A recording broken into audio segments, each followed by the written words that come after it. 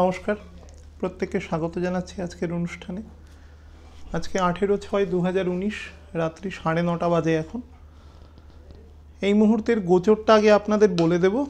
বলে দিয়ে তারপরে ফার্দার যা আলোচনা আছে, যেরকম বলেছিলাম গতদিন, সেখান থেকেই শুরু করব আলোচনা।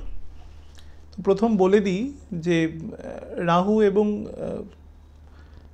মঙ্গলের যে ক্রস সেকশন ছিল, সেটা বেরিয়ে গেছে। মঙ্গল এই মুহূর্তে রয়েছে সাতাশ ডিগ্রি চব্বিশ মিনিটে বুধও রয়েছে সাতাশ ডিগ্রি চব্বিশ মিনিটে, অর্থাৎ মঙ্গল এবং বুধ এক ডিগ্রিতে রয়েছে।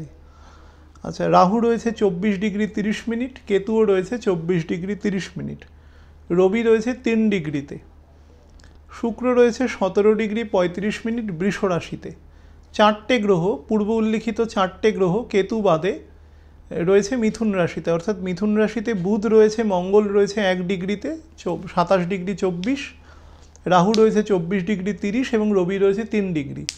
অর্থাৎ চারটে প্ল্যানেট এখন রয়েছে। শুক্র রয়েছে বৃষ রাশিতে সতেরো ডিগ্রি পঁয়ত্রিশ, বৃহস্পতি রয়েছে বৃশ্চিক রাশিতে চব্বিশ ডিগ্রি বাইশ মিনিটে আছে। কেতু আগেই বললাম, রাহু কেতু একই ডিগ্রি, চব্বিশ ডিগ্রি, তিরিশ মিনিট, শনির সাথে একত্রে ধনুরাশিতে অবস্থান করছে এবং শনি আছে চব্বিশ ডিগ্রি, চৌত্রিশ মিনিটে। আজকে চন্দ্র এখানে অবস্থান করছে। চন্দ্রের ডিগ্রি আছে আঠেরো ডিগ্রি, চব্বিশ মিনিট। এই মুহূর্তে সাড়ে নটার সময়। আঠেরো ডিগ্রি, চব্বিশ মিনিটে আছে কুড়ি নম্বর নক্ষত্রে, শুক্রের নক্ষত্রে আছে। তো এই মুহূর্তে এটা প্ল্যানেট পজিশন আমি খুব ভালো বলব না। তবে হ্যাঁ একটা নেগেটিভ ছোটোখাটো ছিল, সেটা বেরিয়ে গেছে। কিছু প্রবলেম দিয়ে গেছে, আপনারা প্রত্যক্ষদর্শী আছে, কিছু প্রবলেম দিয়ে গেছে।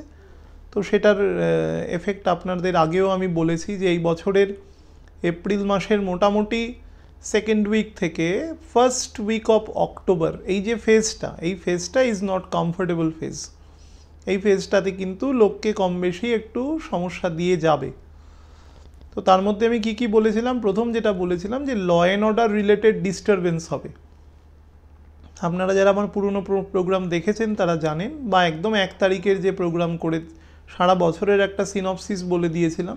তাতে আমি বলেছিলাম যে এই সময়টা ল অ্যান্ড অর্ডারের প্রবলেম যাবে। নাম্বার টু হচ্ছে খুব আনরেস্ট একটা সিচুয়েশান চলবে এই সময়টা। নাম্বার থ্রি বলেছিলাম যে এই সময়ে প্রাকৃতিক কিছু সমস্যাও দেবে। তার মধ্যে ভূমিকম্প ছিল প্রিরোগেটিভলি গরম পড়ার টেম্পারেচার খুব হাই হবে, বহু জায়গায় ড্রট হবে অনাবৃষ্টির জন্য। যেখানে বৃষ্টি হবে সেখানে হবে, কিন্তু যেখানে হবে না সেখানে ড্রট হবে। একদম খরা হবে এবং তাপপ্রবাহ চলবে। এবং বেশ কিছু গবাদি পশু বা এরম কিছুর প্রাণহানির আশঙ্কা আছে, যেখানে ক্যাটেল মানে ব্রিডিং এগুলো খুব বেশি হয়। যে সমস্ত জোনগুলোতে এখানে একটু বেশি গণ্ডগোল আছে। বুধের নক্ষত্রে আছে বৃহস্পতি, সেটার একটা কারণ। এছাড়া বলেছিলাম যে বছরের শেষের দিকে অক্টোবরের দুর্গাপুজোটা চলে যাওয়ার পর থেকে সময়টা আস্তে আস্তে ঠিক হবে এবং যেই না শনি কুড়ি নম্বর নক্ষত্র ছাড়ার দিকে অবস্থান হবে, তখন থেকেই মানে মোটামুটি নভেম্বরের থেকেই বুঝতে পারবেন ঠান্ডাটা খুব ভালো পড়বে এবছর। আমি গতদিন যেখানে শেষ করেছিলাম, ঠিক সেখান থেকে আমি এখন ধরছি। ঠান্ডার কথা। এবছর ঠান্ডা কিন্তু প্রচণ্ড ঠান্ডা পড়বে। এবং কলকাতার টেম্পারেচার যদি টেন ডিগ্রি সেন্টিগ্রেডের নিচে নেমে যায় অস্বাভাবিক হবেন না কিছু। এবং ঠান্ডাটা স্টে করবে। শনি শুক্রের নক্ষত্র ছেড়ে দিলেই ঠান্ডা স্টে করবে। নাম্বার টু হচ্ছে ঠান্ডাটা কনস্ট্যান্ট থাকবে। বেশ কিছুদিন। মানে ধরুন, ডিসেম্বরের শেষের দিক থেকে যেটা আমাদের খুব আমাদের মানে কলকাতা সন্নিহিত এলাকা হিসাবে যেটাকে একটা ফ্রিজিং টাইম বলা হয়, খুব ঠান্ডা। সেটা কিন্তু প্রায় জানুয়ারি মাসের শেষ পর্যন্ত থাকবে, ফেব্রুয়ারির প্রথম উইকেও থাকার সম্ভাবনা আছে। এবং তারপরেও কিন্তু ঠান্ডার একটা রেস্ট থাকবে। অর্থাৎ যে গরমটা এখন কাটাচ্ছেন এই মুহূর্তে সেই গরমটার কিন্তু বিপরীতধর্মী এফেক্ট দেবে। এই বছরের এটা একটা ডাইকোটমিক্যাল ফ্যাক্টর আছে, অর্থাৎ বছরের মাঝামাঝি সময় যে এফেক্ট দেবে, বছরের শেষে গিয়ে ঠিক তার উল্টো এফেক্ট দেবে। এই সময়টা যেরকমই খুব নেগেটিভ সময় আছে, প্রায় প্রত্যেকটা সময়ই কোনো না কোনো মানুষের পক্ষে নেগেটিভ হয়, কখনো পজিটিভ হয়। এক একটা হরস্কোপ অনুসারে এক একভাবে রিয়্যাক্ট করে। কিন্তু এপ্রিলের মাঝামাঝি থেকে, অর্থাৎ বৃহস্পতির রেক্টোগ্রেড হয়েছে দশ এগারো তারিখ এপ্রিলের জাংশনে তো তার মোটামুটি চার পাঁচ দিন পর থেকে up to first week of October এই সময় যে প্ল্যানেট পজিশন থাকবে, সেটা সংখ্যাগরিষ্ঠ মানুষের জন্যই কম বেশি নেগেটিভ আছে। তো এই সময় প্রত্যেকে একটু সাবধানে চলা উচিত। রাহু মঙ্গল একসাথে যাচ্ছে বলেই কিছু ব্যাপার নয়। প্রত্যেক দেড় বছর অন্তরই রাহু, মঙ্গল ক্রস করে। বরঞ্চ এর থেকে খারাপ ঘর দিয়েও ক্রস করে। সেটা সেটা খুব বড় ব্যাপার নয়। আমি বারবার বলেছি মঙ্গল যদি ওখানে রেক্টোগ্রেড হয়ে যেত, তাহলে ফলটা অন্যরকম দিত, কারণ দুজনেই একদিকে চলতো তখন। মঙ্গল এবং রাহু একদিকে চলতো। রাহু সবসময় রেক্টোগ্রেড, তো দুজনে উল্টো দিকে চলে যাচ্ছে, খুব দ্রুত ডিফারেন্স বানিয়ে নেবে। দশ দিনের মধ্যে ওর থেকে ওর দশ ডিগ্রি ডিফারেন্স হয়ে যাবে, আট ডিগ্রির মতন ডিফারেন্স হয়ে যাবে। কিন্তু যদি মঙ্গল ওখানে রেক্টোগ্রেড থাকতো, আমি উদাহরণ দেওয়ার জন্য বলেছিলাম যে দু সালের যদি নভেম্বর মাসের শেষের দিকে চলে যান দেখবেন যে মিথুন রাশিতে মঙ্গল রেক্টোগ্রেড ছিল। আমি একদম স্পেসিফিক বলছি দু সালের নভেম্বরের শেষে বা ডিসেম্বরের একদম শুরুর দিকে। যদি চলে যান, দেখবেন যে মঙ্গল মিথুন রাশিতে রেক্টোগ্রেড ছিল। প্রায় তেরো চোদ্দ ডিগ্রিতে রেক্টোগ্রেড ছিল এবং রেক্টোগ্রেডটা ডাইরেক্ট হয়েছিল সাতাশে জানুয়ারি দু হাজার আট সালে। আমি একদম স্পেসিফিক ডেট বললাম, কারণ এই দুটো ডেটই আমার জীবনের খুব গুরুত্বপূর্ণ ডেট আমার ডেটটা স্পষ্ট মনে আছে, আপনারা রেটিফাই করে নিতে পারেন। আমার ভুল হবে না। সাতাশে সেপ্টেম্বর সাতাশে জানুয়ারি দু হাজার আট সালে মঙ্গল তার রেক্টোগ্রেশন ছাড়ে এক ডিগ্রির কাছাকাছি এসে, অর্থাৎ বৃষ এবং মিথুনের প্রায় জাংশানে এসে মঙ্গল ডাইরেক্ট হয়। এই রকম সিচুয়েশনে যদি রাহু ওখান দিয়ে পাস করতো, তাহলে প্রবলেম করতো। অনেক বেশি প্রবলেম করতো। তো সেই রকম সিচুয়েশন এখানে নেই। তাতেও যা ফল দিয়েছে সেটাও খুব মানে খুব ভালো বলা যায় না, ফলটা খারাপই দিচ্ছে। চতুর্দিকে আনরেস্ট মানুষের মধ্যে ধৈর্যের যে পেশেন্সের যে মোডটা থাকে সেটা অনেক কমে যাবে। তার সাথে মুখ দিয়ে অনেক অসংলগ্ন কথা বলিয়ে দেবে। বুধ মানুষের বাচক, মানুষকে কথা বলায়। বুধ হচ্ছে মানুষের বাচক স্থানকে নির্দেশ করে। তার সাথে তার ঘরে মঙ্গল রয়েছে, বুধকে সাথে নিয়ে। রাহুকে সাথে নিয়ে, রবিকে ছেড়ে দিন। সাথে নিয়ে বসে আছে। তো মানুষের কথাবার্তার মধ্যে অ্যাগ্রেসিভনেস মানুষের কথাবার্তার মধ্যে একটা অ্যারোগেন্স গায়ের জোরে এই রকম টাইপের প্রভৃতি ঘটনা কিন্তু অহরহ ঘটবে। বুদ্ধিমান যারা মানুষ হবেন, তারা রিটেলিয়েট করবেন না। কথার উত্তর দেবেন না অ্যাভয়েড করে চলে যাবেন। না হলেই গণ্ডগোল হবে কিন্তু। গন্ডগোল হওয়ার জন্য প্ল্যানেট একেবারে বসে আছে। ফুলের ডালি সাজিয়ে বসে আছে। এসো গন্ডগোল করো এবং সমস্যায় পড়ো। আমার এখানে এই কথাগুলো বলার, আমি দু চারটে লোকের ফোন নিয়েও কথা বলতে পারি। বলেছি যে ফোন নেওয়া বন্ধ করে দিয়েছি, ফোন নিই না। কিন্তু আমি এই কথাগুলো আপামোর আপনাদের কেন বলছি? তার কারণ এই মুহূর্তে যে কাজগুলো করা দরকার, সেগুলো আপনারা দয়া করে করুন। তার মধ্যে প্রথম হচ্ছে কথা বলাটা কমিয়ে দিন। আমাদের যত সমস্যা হয়, তার নব্বই শতাংশ সমস্যাই মানে যত রাস্তাঘাটে গণ্ডগোল বা পারিবারিক সমস্যা, সেটা হচ্ছে অসংলগ্ন কথা বলার জন্য হয়। পৃথিবীতে যত বুদ্ধিমান মানুষ দেখবেন, তারা দেখবেন তাদের বাক সংযম খুব মারাত্মক।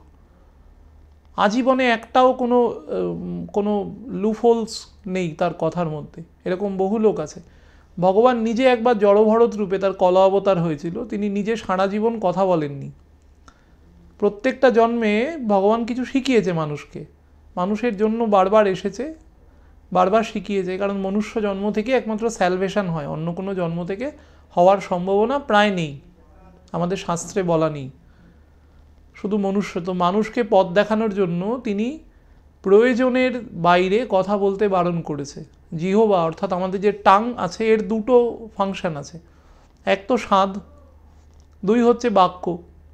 আমাদের মানে ভার্বাল আমরা কমিউনিকেট করতে পারি মানুষের সাথে। তো টাং মানে আপনি যদি নিজের খাদ্যের ওপর কন্ট্রোল না করেন, তাহলে যেরকম আপনাকে শরীর নিয়ে ভুগতে হবে, সেরকম যেরকম বাক্যের ওপর যদি কন্ট্রোল না করেন, তাহলে আপনাকে বিভিন্ন রকম সমস্যার মধ্যে পড়তে হবে। এবং এই সমস্যাগুলো যদি আপনারা নিজেরা একটু সংযত হন, নিজেরাই অ্যাভয়েড করতে পারেন। বিশেষ করে যারা খারাপ দশায় আছে, বা যাদের বার্থ চার্টে কিছু প্রবলেম আছে, তারা কিন্তু অবশ্যই এটা করবেন। দু নম্বর যেটা হচ্ছে, আমি কখনো কাউকে কিছু স্তোত্র বা এই জাতীয় কিছু পাঠ করতে বলি না নর্মালি বলি না। তবে যদি পাঠ করতে পারেন, তবে শ্রীসূক্ত পাঠ করবেন। শ্রীসূক্ত স্তোত্রম পাঠ করবেন এই সময়, অন্তত দিনে দুবার। মুখস্থ করে নেবেন, মুখস্থ করে আপনারা যদি সময় না পান টয়লেটে বসেও করতে পারেন। ঈশ্বরকে ডাকার জন্য কোনো কোনো বিশেষ লোক দেখানো কাজকর্মের প্রয়োজন হয় না, নিঃশব্দেও করা যায়। এবং যে কোনো ন্যাচারাল কাজ, আমরা যেরকম টয়লেটে যাই, আমরা যেরকম খাবার খাচ্ছি, যদি সেগুলোর মধ্যে শুদ্ধতা থাকে, অর্থাৎ আমরা যদি স্যানিটেশনটা মেনটেন করতে পারি, তাহলে কিন্তু ঈশ্বরের কাছে কোনো অপরাধ হয় না। কিন্তু আপনি যদি খাচ্ছেন, আপনার কোনো আচার নেই, বিচার নেই, যা খুশি খাচ্ছেন, মাছ, মাংস, ডিম, পেঁয়াজ, রসুন, মুসুর ডাল, যা খুশি খাচ্ছেন, তো তাহলে কিন্তু কিছু করার নেই। ভগবানের সব কিছু সৃষ্টি করেছে, কিন্তু ফরবিট করেছে। মনুস্মৃতি যারা পড়েছেন, তারা দেখবেন ওখানে বিভিন্ন রকম ফর মানে বিভিন্ন জায়গায় বিধিনিষেধ দেওয়া আছে এবং এই বিধিনিষেধগুলো শাস্ত্রসম্মত। তো সেগুলো একটু খেয়াল করে খাবেন। বিভিন্ন দিনে বিভিন্ন জিনিস খাওয়া বারণ আছে, এগুলো মানবেন। আচারটা খুব গুরুত্বপূর্ণ, আচার থেকেই মানুষের প্রকৃত জায়গাটা উঠে আসে। তো এই মুহূর্তে যেখানে প্ল্যানেট রয়েছে, আপনাকে না দিকভ্রষ্ট করার চেষ্টা করবে, আপনাকে ডিরেইল্ড করার চেষ্টা করবে। কারণ বৃহস্পতি যে মানুষের মানুষের চরিত্রের চেক অ্যান্ড ব্যালেন্স হচ্ছে বৃহস্পতি। মেয়েদের ক্ষেত্রে বেশি, পুরুষদের ক্ষেত্রে কম। কিন্তু তাও পুরুষদের ক্ষেত্রে more than thirty five to forty percent Jupiter তার চেক অ্যান্ড ব্যালেন্স করে, অর্থাৎ কতটা কথা বলব, কতটা ব্যবহার করব, কতটা কাজ করব, কতটা পিওরিটি আমি মেনটেন করব, এগুলো বৃহস্পতি দ্বারা ডিটারমাইন্ড হয়। কারণ বৃহস্পতি যে নলেজের প্ল্যানেট নলেজ মানে কিন্তু শুধু কতগুলো বই মুখস্থ করে একটা ডিগ্রি পাওয়া নয়। নলেজ মানে তার আপামর বিকাশ, সেটা জুপিটার করে। তো জুপিটার এই মুহূর্তে খুব একটা কনস্ট্রেইন জায়গায় বসে রয়েছে। বহু লোক আমাকে বলবে, বহু লোক আমাকে প্রশ্ন করেছে যে, দাদা, আপনি সিংহ লগ্ন নিয়ে বলছেন। সিংহ লগ্নের তো দশমভাবে বৃহস্পতির এই মুহূর্তে দৃষ্টি রয়েছে শুক্রের ঘরে। তো সেটা খুব ভালো ভালো জায়গা। হ্যাঁ ভালো জায়গা। ভালো জায়গা অবশ্যই, দৃষ্টি আছে তার, কিন্তু বারবার বলেছি, গোচরের দৃষ্টির এফেক্ট কিন্তু সবসময় কম হয়। বার্থ চার্টের দৃষ্টির যে এফেক্ট হয়, গোচরের দৃষ্টির এফেক্ট তার থেকে কম হয়, কারণ গোচরে সবসময় গ্রহটা মুভ করছে, ফলে তার দৃষ্টিটা সবসময় সরে যাচ্ছে। একটা নির্দিষ্ট জায়গায় দৃষ্টি থাকছে না। গ্রহগুলো তো কোনো সময় দাঁড়িয়ে পড়ে না যে কোনো একটা জায়গায়। অ্যাপারেন্টলি মনে হয় দাঁড়িয়ে গেছে যখন রেক্টোগ্রেশন থেকে ডাইরেক্ট হবে বা ডাইরেক্ট থেকে রেক্টোগ্রেড হবে। অ্যাপারেন্টলি মনে হবে, পৃথিবীর সাপেক্ষে মনে হবে দাঁড়িয়ে আছে। দুটো ট্রেন যদি পাশাপাশি পঞ্চাশ কিলোমিটার বেগে চলে, একটা ট্রেনের যাত্রী আর একটা ট্রেনের যাত্রীকে দেখবে দাঁড়িয়ে আছে চুপ করে। সে তো আদপে দাঁড়িয়ে নেই, দুজনেরই পঞ্চাশ কিলোমিটার গতিতে চলছে। তো এইটা হচ্ছে রেক্টোগ্রেশন এবং ডাইরেক্টের সময়। কেউ দাঁড়িয়ে নেই, মহাবিশ্বের কোনো একটা বস্তু কোনো দাঁড়িয়ে নেই অল আর মুভেবল যখন দাঁড়িয়ে যাবে, তখন সব কিছুই দাঁড়িয়ে যাবে, শেষ হয়ে যাবে। ওই সময় আর কিছুই থাকবে না। সৃষ্টিটাই দাঁড়িয়ে যাবে তখন। তো সেটা একটু মাথায় রাখতে হবে। খুব, এগুলো খুব সাধারণ বুদ্ধি common sense common sense apply করলেই বুঝতে হবে অ্যাস্ট্রোলজার হওয়ার দরকার নেই তার জন্য। তো আমি রাজযোগ সম্পর্কে কথা বলছিলাম প্ল্যানেট পজিশান নিয়ে বলে দিলাম ইমিডিয়েট যেটা আছে। সাড়ে সাতি নিয়েও বহু মানুষ প্রশ্ন করেছে, আমি পারলে সামনের দিন সাড়ে সাতি নিয়ে কিছু কথা বলব, বিশেষ করে যাদের মকর রাশি আছে এবং রাশির একদম শুরুর দিকে চন্দ্র আছে, অর্থাৎ প্রথম দশ ডিগ্রির মধ্যে চন্দ্র আছে। প্রথম দশ ডিগ্রির মধ্যে যাদের চন্দ্র আছে স্পেশালি আমি বলে দিই যাদের একুশ নম্বর নক্ষত্রে উত্তরাষাঢ়া নক্ষত্রে জন্ম আছে, তারা কিন্তু সাড়ে সাতির আয়তায় পড়ে গেছেন। এবার কোন কোন ছকের ক্ষেত্রে কতটা সাড়ে সাতির আয়তায় পড়বেন, সেটা আমি চেষ্টা করব শুক্রবার আপনাদের একটু এই এই খুব কম সময়ের মধ্যে যতটা বলে দেওয়া যায় আমি চেষ্টা করব বলার। এবার আমি বলে দিই যে, আমি আপনাদের একদিন বলেছিলাম যে লগ্ন স্ফুট দেখে যারা ছক দেখে লগ্ন দেখে আপনাদের অধিকাংশ মানুষ ছক দেখেন, আমি সেভাবে দেখি না, কিন্তু আপনাদের সুবিধের জন্য বলছি। লগ্নর মধ্যে বিচার করতে গেলে আত্মকারক গ্রহ নিয়ে বলেছি। আত্মকারক গ্রহ কি? যে গ্রহের ডিগ্রি বেশি, এটা ধরে রাখুন। অনেক, এর মধ্যে অনেক রকম কাটছাট আছে, অনেক কিছু ব্যাপার আছে। রাহুকেতু ইনক্লুড হবে না হবে, কারণ রাহুকেতুর ডিগ্রি তো সবসময় কমের দিকে যাবে। তো তাকে আত্মকারক ধরে নেওয়া যায় কি না? কারণ তার গতিবেগটা বৃদ্ধির দিকে নয়, হ্রাসের দিকে থাকে সবসময়। উল্টো দিকে চলে। তো সেরকম হবে কি না কোনো গ্রহ হয়তো পঁচিশ ডিগ্রিতে আছে, সে আত্মকারক, কিন্তু রেক্টোগ্রেড আছে। কোনো একটা গ্রহ চব্বিশ ডিগ্রিতে ডাইরেক্ট আছে। তো দুজনের মধ্যে আত্মকারকে কোনো ক্ল্যাশ হবে কি না এগুলো অনেক রকম বরাহমিহিরের বিভিন্ন রকম টিকা আছে এখানে। যারা একটু বিস্তৃত পড়েছেন, তারা জানেন বা না জানলে পড়ে নেবেন। একটু বই পড়া অভ্যাস করুন, ইন্টারনেট বা এগুলোও সার্চ করবেন, কিন্তু বই পড়া অভ্যাস করুন। না হলে বই মানে বই ব্যাপারটা উঠে যাবে সমাজ থেকে। মানুষ একেবারেই লেখাপড়া করে না। আমি একটা মানে জিনিস বলতে বাধ্য হচ্ছি, কোনো মানুষের কোনো জ্ঞান নেই। না মানে কোনো শাস্ত্রীয় কোনো জ্ঞান আছে। নিজের নামের আগে অনেকেই শাস্ত্রী ব্যবহার করেন। শাস্ত্রী সেই যে শাস্ত্রজ্ঞ, যা শাস্ত্র জ্ঞান আছে। শাস্ত্র মানে কি? সম্পূর্ণ বেদ, উপনিষদ, অর্থাৎ বেদাঙ্গ, সর্বোপরি গীতা গীতা হচ্ছে সবার ওপরে, তারপরে হচ্ছে আমাদের অষ্টাদশ পুরাণ, উপনিষদ, উপনিষদের সংখ্যা কত সেটা খুব ভালো করে জানেন একশোর ওপরে, এবং বহু জায়গায় বেঙ্গলি ট্রান্সলেশন হয়নি, গোটা চল্লিশের মতো ট্রান্সলেশন হয়েছে। কলকাতা শহরে অন্তত গোটা চল্লিশে ট্রান্সলেটেড, বেঙ্গলি ট্রান্সলেটেড বা সংস্কৃত বা হিন্দি ট্রান্সলেটেড আপনি উপনিষদ পাবেন। তো কোনো শাস্ত্রীয় নলেজ নেই, কিছু পুঁথিগত নলেজ আছে কিছু মুষ্টিমেয় মানুষকে বাদ দিয়ে আমি বলছি, আমি প্রত্যেককে বলছি না। ইয়াং জেনারেশনের ক্ষেত্রে এটা খুব বেশি। মেজরিটি লোকের মধ্যে অ্যাথিস্ট, তারা হচ্ছেন নাস্তিক। কেন নাস্তিক? তার কোনো মানে নেই। সেই আমাদের বিখ্যাত ভগৎ সিংয়ের বই ছিল ভাই আই অ্যান এথিস্ট আমি কেন নাস্তিক? তিনি জেলে বসে, লাহোর জেলে বসে একটা প্যাম্পলেট লিখেছিলেন। তার যখন মৃত্যুদণ্ডাদেশ কার্যকর হয়েছিল। কেউ পড়েছেন কিনা আমি জানি না। যদি না পড়েন তো পড়ে নেবেন। অ্যাথিস্ট কারা এবং কী জন্য হয়? এথিস্টের কি দূর, কী নেগেটিভ বা পজিটিভ হয় আমাদের শাস্ত্রে? তার বিস্তৃত বলা আছে। আপনারা একটু লেখাপড়া করুন। লেখাপড়াটা থেকে সবাই খুব বিমুখ হয়ে গেছেন এবং তার জন্য এই শাস্ত্রগুলো, এমন কিছু মানুষের দ্বারা পরিচালিত হচ্ছে যারা এই শাস্ত্রের ধারে কাছেও নেই। আমি খুব দুঃখজনকভাবে বলছি, প্রত্যেকের প্রতি সম্মান রেখে বলছি, নেই। আমার খুব খারাপ লাগে মানুষ যখন গ্র্যাজুয়েট উচ্চারণ করতে পারে না। হ্যাঁ আমি এরকম মানুষকে দেখি, সে অ্যাস্ট্রোলজি করছে। ভারতবর্ষের তথা পৃথিবীর সব থেকে এডুকেটেড এবং qualified not only economic is আমাদের socially and culturally and educationally qualified নয়, তারা স্পিরিচুয়ালিও কোয়ালিফাইড সেই সমস্ত মানুষই এর চর্চাটা করতো। কিন্তু সেটা আমি এই কলিযুগে সব কিছুরই অবক্ষয় ঘটেছে, তো এটারও অবক্ষয় আমি দেখতে পাচ্ছি।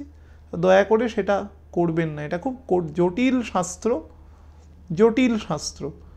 ভালো করে পড়ে, বিবেচনা করে তারপরে করুন। এই দু মিনিটে অ্যাস্ট্রোলজি কেউ একটা ঈশ্বরের নাম নিয়ে নিল, বিভিন্ন দেবদেবীর নাম, দেবদেবীর সাথে এর কোনো সম্পর্ক নেই। মহর্ষি ভৃগু এটা তৈরি করে গেছেন, তিনি ছিলেন বৈষ্ণব। তো তিনি একদম চিপ দেবতা দ্য অলমাইটি তার শিষ্য ছিলেন, ঠিক আছে? একদম শ্রীকৃষ্ণের। তো এটা বৈষ্ণব ধারা থেকে এসছে, এটা শৈব ধারা থেকে আসেনি। অ্যাস্ট্রোলজির মধ্যে কোনো বশীকরণ, অমুক তমুক, বহু লোক আমাকে প্রশ্ন করে, আমি তাই উত্তর দিচ্ছি, অপ্রাসঙ্গিক মনে হতে পারে আপনাদের, এগুলো কিছু নেই। এসব কিছু নেই, এগুলো পরে ইনক্লুশন হয়েছে, অথর্ববেদ অনেক পরে লেখা হয়েছে, কেউ কেউ পড়েছেন কিনা আমি জানি না না পড়লে পড়বেন, এখানে সব পরিষ্কার বলা আছে। কবে কবে এগুলো ইনক্লুশন হয়েছে। পিওর অ্যাস্ট্রোলজির মধ্যে ওই সব কিছু নেই। নেগেটিভ কিছু চর্চা নেই, যেগুলো আমরা অ্যানথ্রোপোলজিতে বলি না উইচক্রাফট শশারি এগুলো জ্যোতিষশাস্ত্রে নেই। জ্যোতিষশাস্ত্রের বহির্ভূত। আপনার বাড়ির ওদিকে একটা পুকুর আছে, এগুলো জ্যোতিষশাস্ত্র নয়। এটা এত হেলাফেলা করা শাস্ত্র নয়। এটা অত্যন্ত কঠিন, জটিল কিন্তু অত্যন্ত ওয়েলফেয়ার দেওয়া শাস্ত্র। মানুষ যদি এটাকে বোঝে, তাহলে বহু মানুষের এবং সমাজের কল্যাণ হবে। আর যদি না বোঝে, যদি তার অপপ্রয়োগ করতে থাকে, তাহলে কিন্তু মুশকিল হবে। পরবর্তী জেনারেশনের এই শাস্ত্রটার উপরে শ্রদ্ধা উঠে যাবে এবং তার ফলে যেটা নষ্ট হবে, সেটা হচ্ছে এই শাস্ত্রটা। এটাকে বাঁচানো যাবে না। তো আমি শিক্ষিত মানুষদের বলব, তারা চর্চা করুন এবং প্রকৃত চর্চা করুন এবং পড়াশোনা করুন।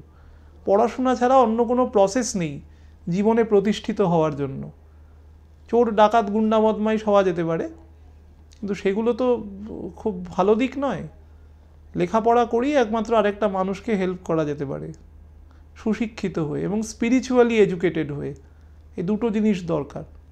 এডুকেশন উইথ স্পিরিচুয়ালিটি এই দুটো থাকলেই মানুষের হেল্প হয়, এছাড়া কোনো কিছুতে হেল্প হয় না। বাকি সব আর ওয়েস্টেড থিং তো বলছে যে আত্মকারক গ্রহ, মনে করুন যে কোনো একটি লগ্ন, আমি সিংহ লগ্ন নিয়ে বলছি মেন চিপ বসকে নিয়ে কথা বলছি সৌরজগতে, তো সিংহ লগ্নের ক্ষেত্রে মনে করুন সিংহর মানে রবি নিজেই আত্মকারক গ্রহ। কারণ মনে করুন ভাদ্র মাসে জন্ম হয়েছে, তো তার লগ্নেই রবি বসে আছে। মনে করুন ভাদ্র মাসের পঁচিশ তারিখ জন্ম হয়েছে, তো রবি পঁচিশ ডিগ্রিতে আছে, তো এটি মনে করুন ওর আত্মকারক গ্রহ। যত গ্রহের স্ফুট আছে, সেগুলো সব ডিগ্রি, স্ফুট মানে ডিগ্রিগুলো আছে, সেগুলো তার থেকে কম আছে। বাইশ আছে, একুশ আছে, উনিশ আছে, তেইশ আছে। তো এই রবিকে তাহলে আমি আত্মকারক গ্রহ ধরে নেব। এক্ষেত্রেও কিছু দ্বিমত আছে, আমি এই মুহূর্তে দ্বিমতে যাচ্ছি না। এই আত্মকারক গ্রহ থেকে যদি ফোর্থ হাউসে মনে করুন লগ্নেই রবি আছে, তো রবি থেকে ফোর্থ হাউস কত? মঙ্গলের ঘর, বৃশ্চিকের ঘর। এখানে যদি চন্দ্র শুক্র একত্রে থাকে, এটা রাজযোগ হয়। আমি এরকম প্রভূত ছক দেখেছি, আমি কোনো রাজযোগের কোনো সাইন এক্ষেত্রে দেখতে পারিনি। আমি দেখিনি। আমার ত্রুটি হতে পারে, কিন্তু আমি দেখিনি। এবার আমি বলছি, কেন দেখিনি? এই যে কথাগুলো লেখা হয়, এখানে কথাগুলোকে খুব কম্পাইল করা হয়। অ্যাস্ট্রোলজির এই পরাশরমণির বইটি অনেক অনেক মোটা। এটাকে কম্পাইল করে, ছোট করে দেওয়া হয়েছে। কিনবে না লোকে, বেশি দাম হলে। এমনি কেনে না, বই পড়ে না। তো কিনবে না। তো দ্যাট ইজ ওয়াই ছোট করেছে। দেখুন, সব ফোর্থ হাউসের ক্ষেত্রে অ্যাক্টিভ হয় না। চন্দ্র এবং শুক্র, প্রথম তো দেখুন, বলা আছে কি, বৃশ্চিক রাশিতে চন্দ্র নিচ থাকে। কেন নিচ থাকে বৃশ্চিক রাশিতে? কারণ চন্দ্রের বৃশ্চিক রাশির যে প্রকৃতি, সেটা হচ্ছে জল। জলতত্ত্ব প্রকৃতি, কিন্তু গরম, মঙ্গলের ঘর। আর চন্দ্র হচ্ছে ঠান্ডা, জলের প্রকৃতি। তো সেখানে চন্দ্র ওখানে তার প্রকৃত তার যে কোয়ালিটি সেটাকে এনরিচ করতে পারে না। তো দ্যাট ইজ ওয়াই চন্দ্র ওখানে দুর্বল হয়ে যায়। শুক্র ওখানে সতেরো নম্বর নক্ষত্র ব্যতি রেখে অন্য যে কোনো নক্ষত্রে দুর্বল থাকে। এদিকে বৃহস্পতি ষোলো, ওদিকে আঠেরো জ্যেষ্ঠা। এবার মনে করুন যে কোনো মানুষের, মনে করুন কোনো একজন মানুষের ধনু কুম্ভ লগ্ন আছে। কুম্ভ লগ্নের আত্মকারক গ্রহ শনি। মনে করুন শনি কুড়ি ডিগ্রিতে আছে, কুড়ি ডিগ্রিতে যে ম্যাক্সিমাম ডিগ্রি সেটা কুম্ভ লগ্নেই বসে আছে। কুম্ভ লগ্ন থেকে যদি ফোর্থ হাউসে এগারো, বারো, এক, দুই, চার, দু নম্বর ঘর বৃষ রাশি, বৃষ রাশিতে শুক্র, চন্দ্র যদি একত্রে থাকে, এটা কিন্তু উৎকৃষ্ট রাজযোগ। এই রাজযোগের ফল পাবে। কোন দশায় ফল পাবে? শনির দশায়, শুক্রের অন্তর্দশায়। শনির দশায়, চন্দ্রের অন্তর্দশায়। শুক্রের দশায়, শনির অন্তর্দশায়। কিন্তু শুক্রের দশায়, চন্দ্রের অন্তর্দশায় কিন্তু ফল পাবে না। যদি না, শনি থেকে শনি, স্যাটার্ন থেকে স্যাটার্ন মূল ত্রিকোণে থাকে। আপনারা মূল, কুম্ভের ওই ঘরটি মূল ত্রিকোণ? তাহলে পাঁচ বা নয়ে যদি অবস্থান না করে, অর্থাৎ মিথুনে অবস্থান না করে বা শুক্রের ঘরে অবস্থান না করে, তাহলে কিন্তু চন্দ্রের মানে শুক্রের মহাদশায়, চন্দ্রের অন্তর্দশায় ফল পাবে না। এটা হচ্ছে পরিষ্কার ব্যাপার। এগুলো হচ্ছে পরের দিকের, যেগুলো লেখা থাকে না, শুধু কোট করে ছেড়ে দেয়। এরকম আপনারাও বিচার করবেন যে কোন কোন ক্ষেত্রে এটা থাকে। আত্মকারক গ্রহর গ্রহর ক্ষেত্রে যদি চন্দ্র আত্মকারক গ্রহ হয়, চন্দ্রকে কিন্তু আত্মকারক গ্রহ হিসাবে ধরার ক্ষেত্রে কিছু বিধিনিষেধ আছে। কারণ চন্দ্রের এত দ্রুত মানে চন্দ্রের সাথে যদি শনি এক ডিগ্রিতে থাকে, তাহলে শনি আত্মকারক গ্রহ হবে। চন্দ্রের সাথে যে কোনো গ্রহ এক্সেপ্ট রাহুকেতু এবং রবি। অন্য যে কোনো গ্রহ যদি এক ডিগ্রিতে অবস্থান করে, তাহলে চন্দ্র আত্মকারক গ্রহ হিসেবে বিবেচিত হবে না। কারণ চন্দ্রের থেকে অন্যান্য সমস্ত গ্রহেরই শক্তি বেশি আছে। চন্দ্র কিন্তু খুব লেস এনার্জি সেক্ষেত্রে। আজকে এখানেই শেষ করতে হচ্ছে। সামনের দিন এই টপিকটা নিয়ে আলোচনা করব। আর এই সপ্তাহটা আর কটা দিন, আর দুটো তিনটে দিন একটু সাবধানে থাকুন নেগেটিভ পার্টটা বেরিয়ে যাবে। এখানেই রাখতে হচ্ছে প্রত্যেককে। নমস্কার রইল।